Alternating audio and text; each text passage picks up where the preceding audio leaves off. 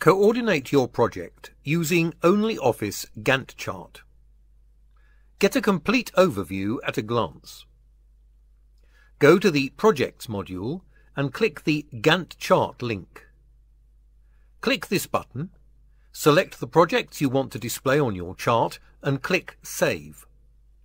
You can clearly see which milestones and tasks are closed, which are overdue, and which are active you will easily recognize key milestones, high priority tasks, or tasks without due dates.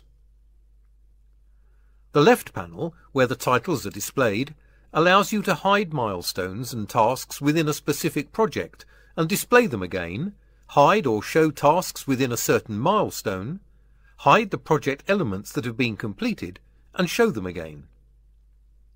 Click the plus button to choose the information you want to display on the left panel. Close the tabs you don't need. Change the timeline scale, selecting one of the available representations to choose the most convenient way to work. Use the Scale bar on the top to navigate through the Gantt chart.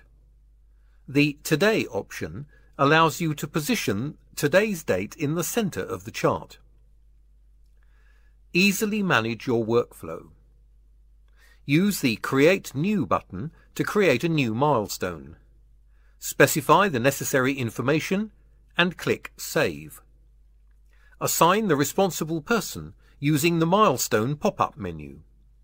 Choose the necessary user and press OK. You can do the same using the left panel. Here you can also change the activity start or end date. Click the Create New button to create a new task. Fill in the standard form specifying the necessary information and click Save. Move the mouse cursor over the milestone and choose the plus icon to create a task assigned to this milestone. Type in the task title and press Enter. Right-clicking on an empty space within the chart is the third way to add a task. Assign responsible persons in much the same way as for milestones. Move the mouse cursor over the milestone and drag it to change the milestone dates.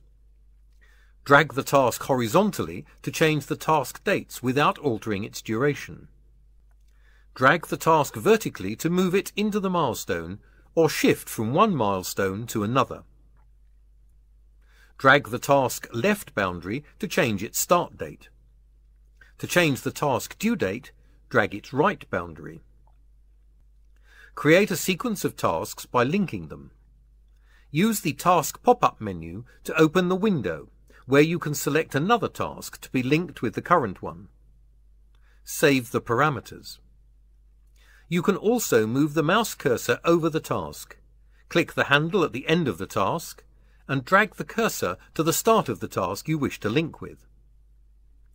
To delete an unnecessary link, move the cursor over it and click this button.